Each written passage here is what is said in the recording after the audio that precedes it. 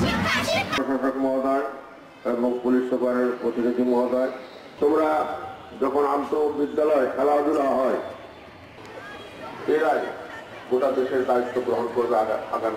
জেলা প্রাথমিক শিক্ষা অফিসার প্রধান অতিথি হিসেবে উনি স্বাধীনতার জন্য যুদ্ধ করেছেন। এ দেশকে স্বাধীন করছেন